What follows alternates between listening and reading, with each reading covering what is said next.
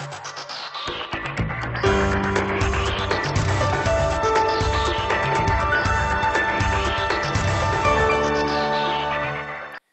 Bonsoir à tous. Le 24 février prochain, les Sénégalais seront aux urnes pour élire donc leur président. Une course à la présidentielle à laquelle euh, participe évidemment le président sortant Macky Sall. En face de lui, une opposition décimée qui accuse le chef de l'État sortant euh, d'être responsable du recul démocratique dans son pays. Euh, notre invité ce soir est le coordinateur du FDM. Le FDM, c'est le front pour le départ de Macky Sall. Cher Tidiane.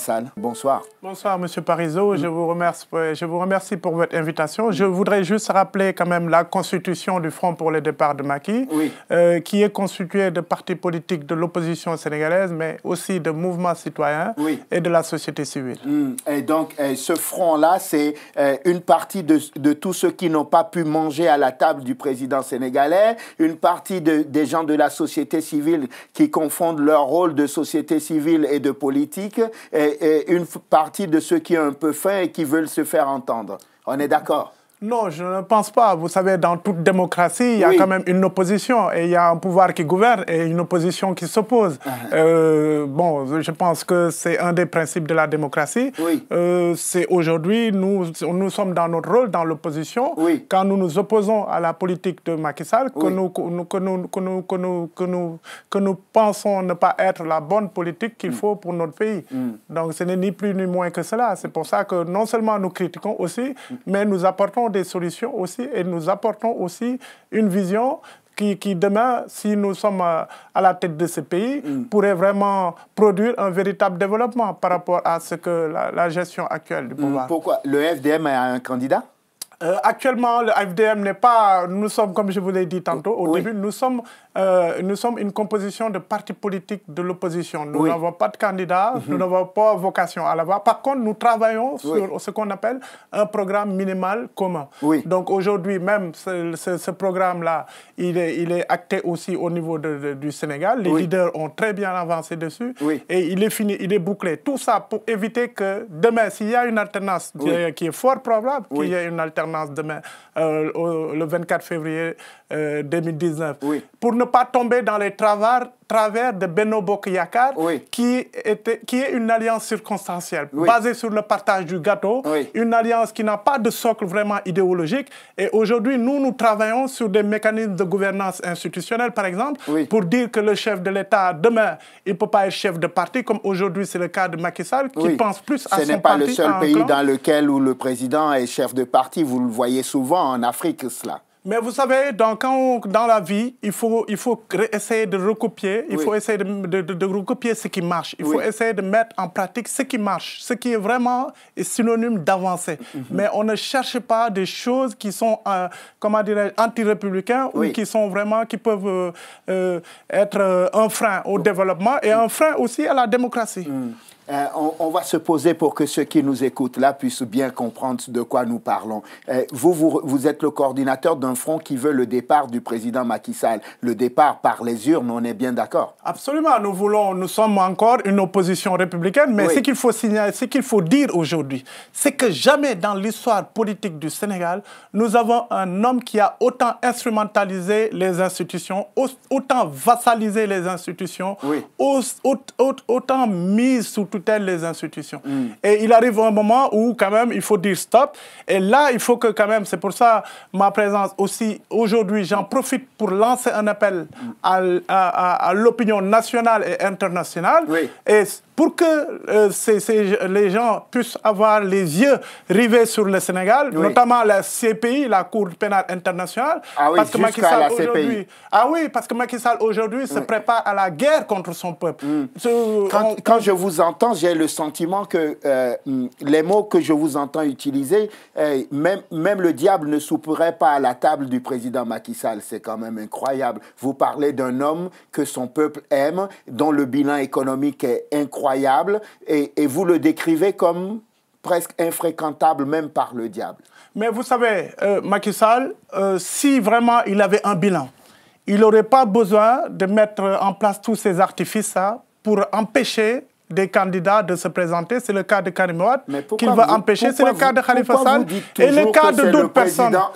Pourquoi dites-vous toujours que c'est le président Macky Sall euh, qui empêche C'est la justice de votre pays qui a condamné Karim Ouad, c'est la justice de votre pays qui a condamné Khalifa Sall. Et même si vous essayez de nous expliquer depuis des, des mois maintenant que ce sont des procès politiques. Alors, je vais vous dire une chose. Dans le cas, par exemple, de Khalifa Sall, euh, d'ailleurs, la Cour de la justice de la La Cour communautaire, a dit que dans le procès Khalifa Sall, ses droits n'ont pas été respectés, hmm. qu'il n'a pas eu droit à un procès équitable, que la présomption d'innocence, elle a été bafouée. On a vu un procureur de la République qui s'est mué en, qui s'est transformé vraiment en euh, accusateur hors pair, et en condamnant un citoyen avant même qu'il y ait le procès. Hmm. Dans le cas de Karim Ouad, c'est une créée, on appelle ça la Cour de répression, répression de, l'enrichissement illicite. C'est une cour qui n'existe nulle part au monde. Elle n'existe qu'au Sénégal. C'est une cour inquisitoire, une cour qui ne respecte pas les droits de la défense.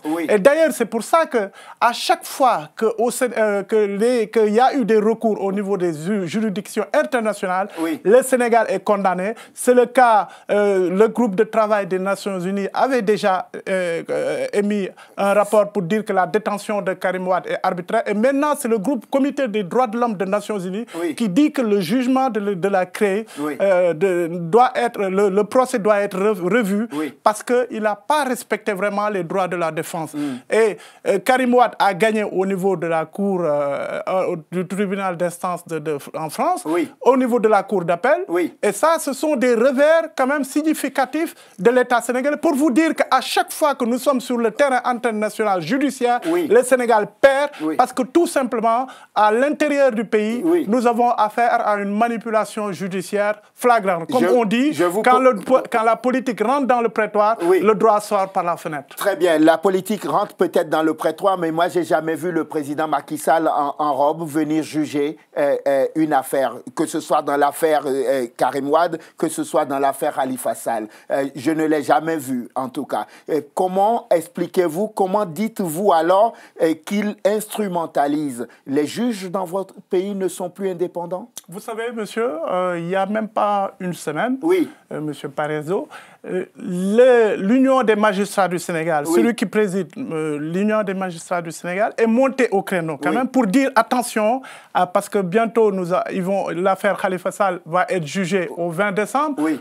Vous vous rendez compte, trois mois après le procès en appel, Là, il passe au cours suprême. Ça veut dire qu'il y a un, ancien bâtonnier d'ailleurs qui le disait, qu'il bat tous les records vraiment en matière de, de, de, présentation d'un dossier juridique. C'est normal. entre un, quand, la, quand la justice est lente, vous accusez la justice de lenteur. Quand elle accélère un dossier, vous trouvez que c'est suspect. Qu'est-ce qu'elle doit faire, C'est parce que là, tout simplement, la justice, là, c'est le temps des politiques. C'est pour ça qu'elle est aussi lente, elle est aussi fulgurante. Mais je vais vous dire, j'ai terminé mes propos par rapport au président de l'Union des magistrats qui est monté au créneau pour dire que qu'il ne faut pas qu'on utilise la justice pour éliminer, éliminer des candidats. C'est quand même, c'est quand même l'union des... Non, mais c'est un magistrat indépendant. Mhm. Vous savez, la Constitution, d'ailleurs, confère cette indépendance à, au pouvoir judiciaire. Mais malheureusement, euh, il y a encore quelques brebis galeuses dans mhm. cette institution mhm. aujourd'hui qui sont à la solde du régime. Et il faut le dire, et ces gens-là ne méritent, ne font pas honneur aujourd'hui à notre pays. Donc, euh, qu'est-ce qui vous fait croire que... J'ai vu que les, les, représentants de Khalifa Sall et, et les représentants de Karim Ouad euh, sont allés déposer de façon symbolique leur dossier de candidature, euh, juste pour amuser la galerie, on est bien d'accord. Ah non, c'est pas symbolique, hein. c'est loin d'être symbolique. Vous savez, la loi électorale, au niveau de la hiérarchie des lois, la loi constitutionnelle est au-dessus de la loi électorale. Il faut que ce soit clair. Et nulle part dans la loi constitutionnelle, on dit que pour, pour, pour, pour être, pour, être, pour, être, pour être candidat, il faut être électeur. Donc là, Macky Sall a justement, à six mois des élections, juste avant, pour éviter la directive de la CDAO qui interdit qu'on puisse faire, qu'on puisse euh, toucher les lois électorales à six mois, ils se sont précipités pour introduire dans la loi électorale cet artifice tout simplement pour, pour, pour viser mm. euh, Karim. Mm. Et vous savez, quand on se met à mettre en place des lois, une loi, normalement, elle doit être impersonnelle, générale. Hein? Ah, et donc, quand on commence à mettre des lois à visée personnelle, mais oui, mais c'est flagrant. Vous mm. savez, ces gens-là, quand même, des fois, bon, vous savez, ils font tout pour garder le pouvoir. Mais il faut avoir une élégance républicaine. C'est bien quand on est au pouvoir de vouloir conserver son pouvoir, mais il faut quand même une élégance républicaine. Et par-dessus tout aussi, il ne faut pas essayer de brûler ce pays.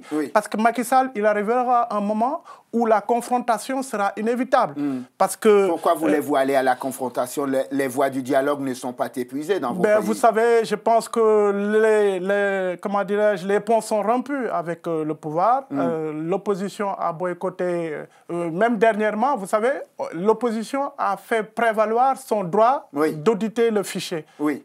par rapport à l'article L48 du Code électoral. Oui. Mais quand les mandataires de l'opposition se sont présentés, on leur a tout on leur a juste montré une maquette où vraiment il n'y avait pas les données électorales, CDAO, tout ça. Hmm. Donc ils ont boudé, ils ont boudé la, rencontre. Et à chaque fois, c'est pareil. En fait, la le stratégie de diabolisation de l'opposition, non ça? L'opposition essaie toujours de, de, montrer que le président qui vient de récolter encore 14 milliards sur le plan international pour le plan Sénégal émergent, ce président est, est salué par toute la communauté internationale pour son, son bilan économique. Et vous vous dites il, ne vaut rien, il faut qu'il parte. Non, je n'ai pas dit ça. Mais vous savez, monsieur, vous parlez, c'est bien, vous, vous me donnez du grain à moudre. Oui. Euh, vous parlez de 14 milliards que le président euh, vient de récolter. Oui. Il était venu déjà pour récolter 4 milliards. Il demandait 4 milliards, et il a eu 8 milliards. Voilà, il a 8 milliards. Oui. Mais vous savez, monsieur, chaque individu a un actif et un passif.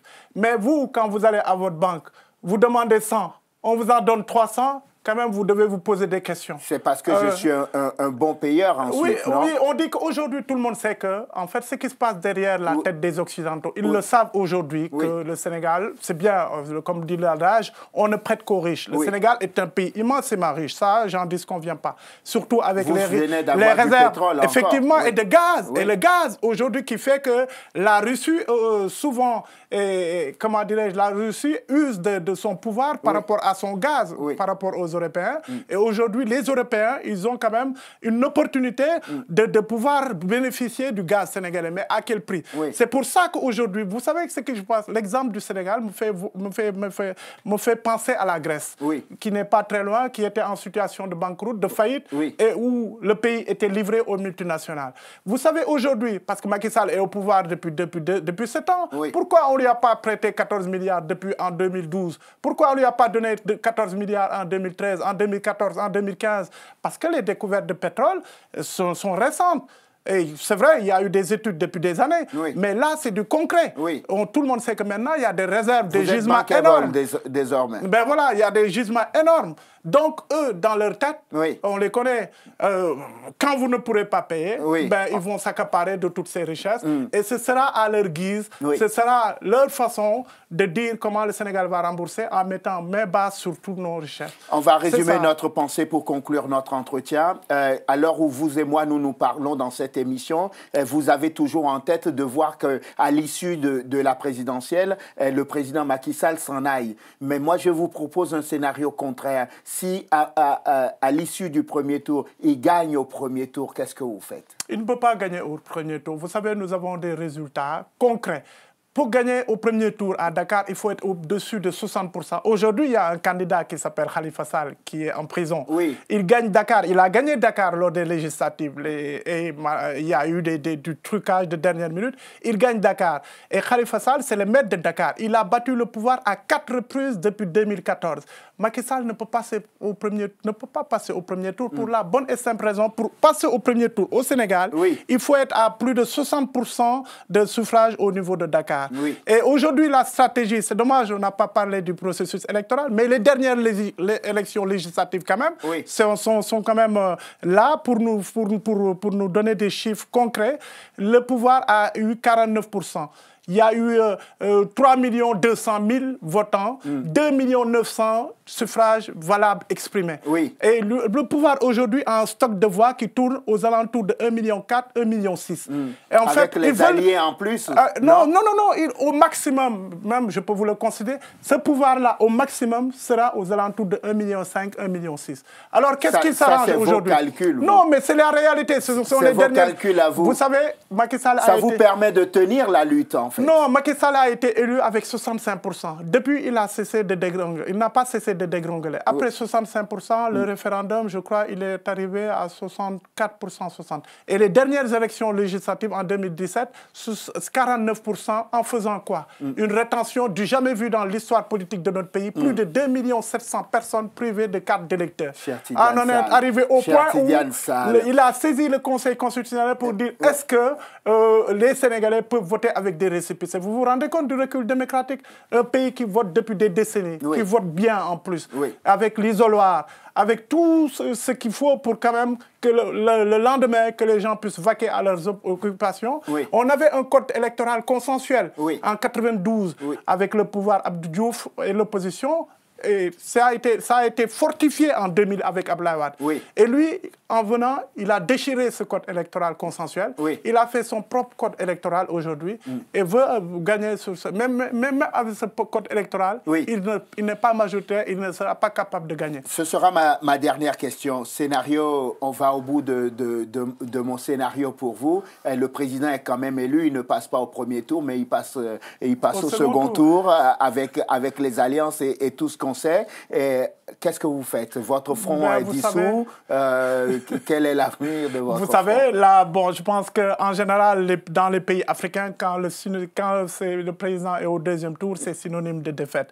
Donc, si nous, nous voulons l'amener au deuxième tour, parce que nous savons que nous ne pouvons pas gagner l'opposition au premier tour. C'est pour ça que nous travaillons justement au niveau du FDM, du mm. Front pour le départ de Maki. Mm. Nous voulons avoir 5-6 pôles de candidature, de, des, des personnalités capables d'avoir entre 8 et 12% Et là, de facto, euh, on sera au second tour. non?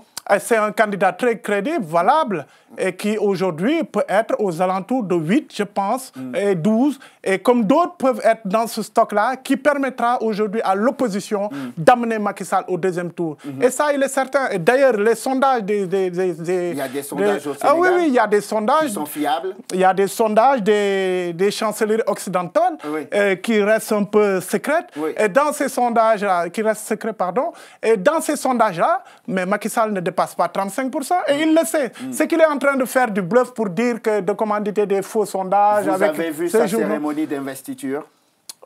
Mais je vous ai dit avant qu'on soit à l'antenne, je vous disais aujourd'hui, Macky Sall mobilise avec l'argent. On appelle ça les mobilisations Diagadiaï. On paye 2 000 francs, 5 000 francs par-ci, par-là. Mm. Mais vous avez aujourd'hui des partis d'opposition, comme le PUR, qui a fait une démonstration énorme, mais sans payer personne, sans mm. donner personne un ticket ou un sandwich. à ma question. Je vous disais que si le président était, était réélu pour un second mandat, est-ce que votre front disparaîtra? La, question, la réponse est oui ou non.